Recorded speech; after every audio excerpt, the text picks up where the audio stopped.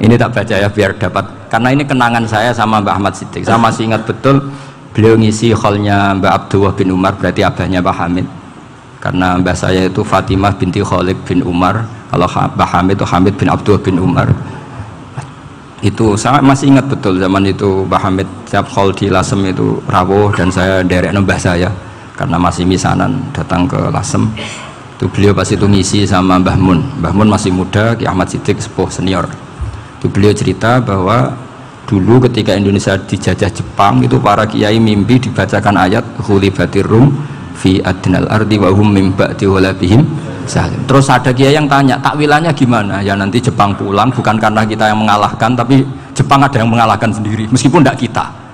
Kayak dulu Faris tidak dikalahkan Islam tapi dikalahkan Romawi tapi yang senang umat Islam wa yauma idzi yafrahul itu luar biasa ulama-ulama kita. Delalah kejadiannya Indonesia seperti itu.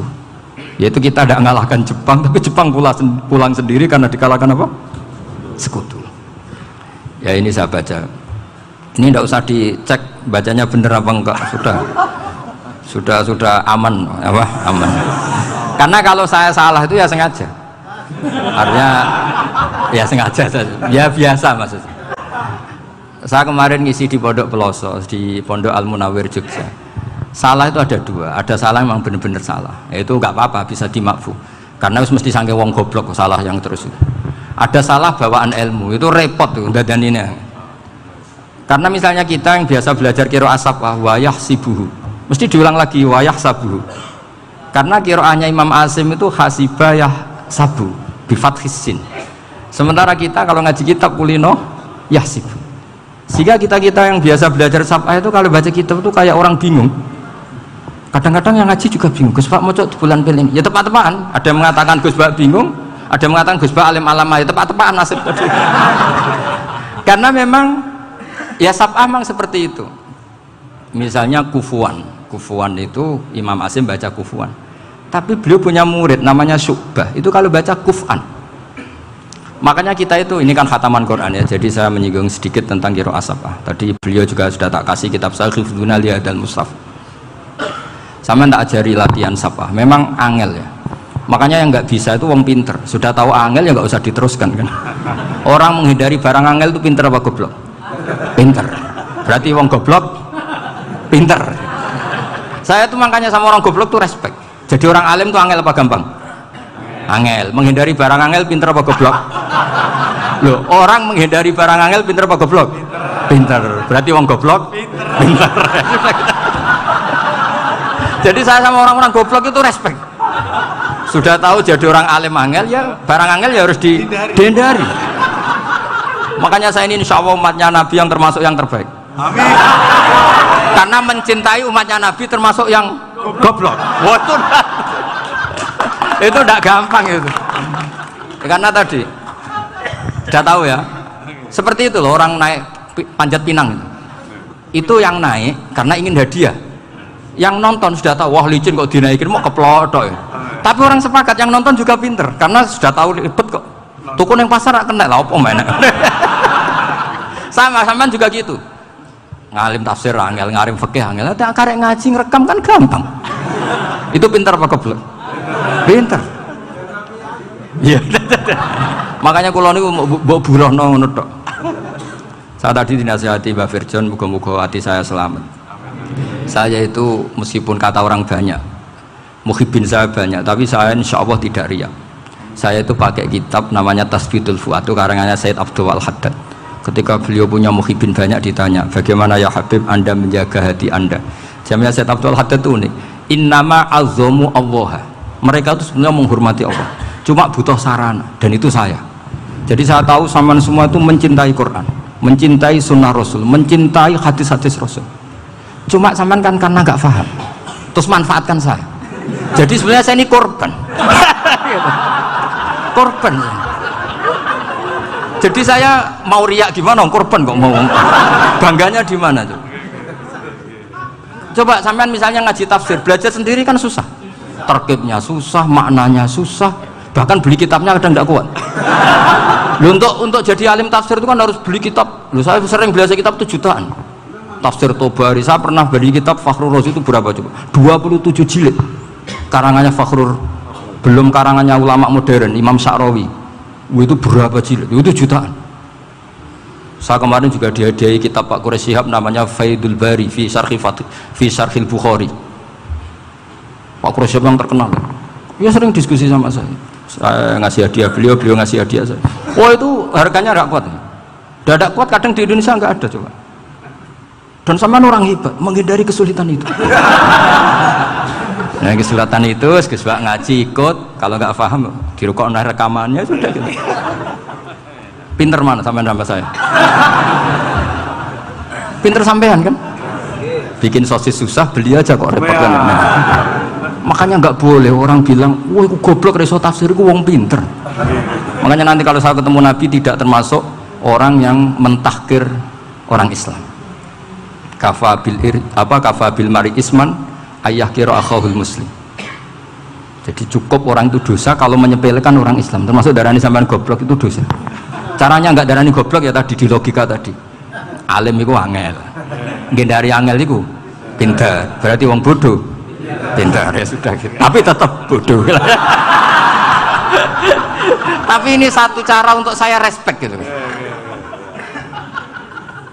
Coba orang yang ngaji tafsir saya banyak, mungkin ribuan. Itu sebetulnya mencintai Quran. Karena Quran adalah kitab suci yang panduannya umat Islam. Sangat mencintai Quran. Terus kemudian mereka nggak paham. Terus mencari orang yang memahamkan. Burono lah cara Jawa ini.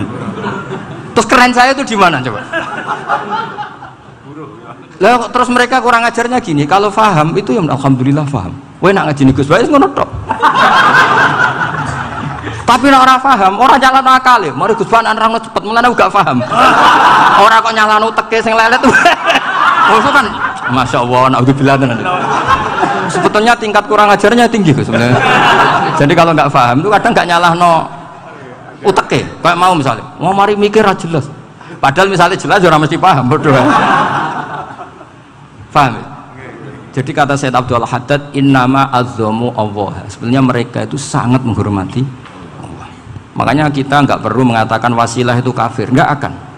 Karena orang tawasul sama Rasulullah itu ingin dapat ridhonya Allah lewat orang yang dicintai Allah. kita mencintai wali sebenarnya wah itu kekasih Allah. Kita mencintai itu karena mencintai Allah sama seperti gini. Kamu mencintai kangkung apa enggak? Sebenarnya sama sekali enggak. Tapi kamu ingin sehat ada asupan gizi. Kamu ingin tubuh kamu sehat butuh asupan gizi. Kemudian kamu makan kangkung. Apa terus kamu cinta kangkung kan enggak? Cinta kesehatan kamu sen sama. Orang yang mencintai saya ingin kepuasan rohani. Saya akan termasuk kiai yang torekonya gampang. Ini suwargo ini suwargo kan peng, akhirnya penggemarnya banyak. Coba kalau kamu ini rokok rokok jadi sebetulnya anda mencintai kepuasan anda sen nah saya ini korban. Makanya untuk masuk surga cepat saya korban itu cepat. Dakwatul mazlum la turaddu. Kan gitu laisa bainahu wa bainallah hijab. Jadi saya kalau dungo langsung seret langit. Karena mazlum. Saya sinau tafsir itu Pak. Zaman bayangkan ada tafsir itu sudah 27 jilid. Sekarang Fakhrul Razi itu bulatnya bukan main. Karena dia alifil safat. Oh, bulatnya Masya Allah sudah gitu sinau jalalain kadang dikomen oleh Sawi. Sudah kita percaya jalalain jebuli dibuli Sawi. Percaya Sawi dikandani oh itu maliki rasofi oh, ribet. Sudah gitu sinau kurtubi sinau tafsir Tobari itu susahnya. Belinya susah belajarnya susah. Padahal saya punya keluarga punya istri punya anak. Bayangkan kalau istri saya rewel kayak istri sama wah itu tapi alhamdulillah enggak sama sekali enggak Allah sudah milihkan wah ini bahaya kalau punya istri rewel Imam Sibawai itu kitabnya banyak tapi yang terbukukan hanya kitab Sibawai karena beliau kalau sudah belajar lupa istri. Hanya pas beliau di pasar kitabnya dibakar semua sama istrinya. Karena dianggap saingannya. Ternyata yang dicerai tidak kitabnya malah istrinya. Itu imam siapa? Sifat. tapi alhamdulillah kitab saya nggak terbakar aman. Saya teruskan ya. Jadi untuk menjaga ria dilatih innama azzomu Allah sebenarnya mereka itu menghormati sehingga wasail-wasail itu sebenarnya nggak pernah jadi subjek pelaku utama tetap Allah Sebab itu kata Sayyid Muhammad, kamu kok mengatakan wasilah itu kafir itu gimana? Ketika innallaha qad ba'atsa lakum taluta malika. Tolut itu ya manusia. PD-nya itu apa? Inna ayata mulkihi ayyatiyakumut fihi sakinatum min rabbikum wa baqiyatum mimma taraka ahlu Musa wa ahlu Haruna tahmiluhul malaikah. Jadi beliau PD itu kalau bawa sunduk semacam peti sakti, sing di situ ada baqiyatum mimma taraka ahlu Musa wa ahlu Haruna tahmiluhul malaikah. Ya kayak semacam jimat, tapi saya bukan mensyariatkan jimat enggak karena nanti banyak penjual yang pembohong juga gitu loh cuma cerita kamu tidak usah mengatakan kafir dulu tolut PD-nya kalau bawa sunduk semacam peti kesaktian yang di situ ada baqiyatum mimma taruka alu Musa wa alu Haruna tahmiluhul malaika sehingga Khalid bin Walid meskipun beliau sahabat dan menyaksikan wajah Rasulullah Shallallahu Alaihi Wasallam itu bawa sya'aratun min sya'aratihi Rasulullah Shallallahu Alaihi Wasallam. Bawa rambutnya Nabi. Perang ke mana-mana itu diletakkan di pecinya. Nanti sama tanya lagi masa pakai peci Khalid bin Walid ini wah panjang sampai itu repot. Sampai tak warai ngaji usul fikih. Usul fikih itu kalau ngaji itu ada istilah tangkihul manat. Ini mesti ini wilayah yang kita bisa berdebat sama Mbah Firjon.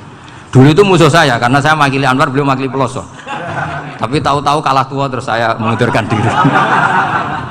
Di fikih itu ada istilah ada tangkihul manat. Ada tahkikul manat ada tangkihul manat. Tangkih itu kira-kira gini lafat hadis itu dibuang sekian untuk tahu bahwa itu madarul hukmi. Misalnya gini tak beri contoh paling gampang. Sama harus paham kalau nggak paham nggak pinter-pinter. Ja'a a'robiyun ila rasulillah sallallahu alaihi wasallam. Ya karena ini menghormati Mbah Ahmad Siddiq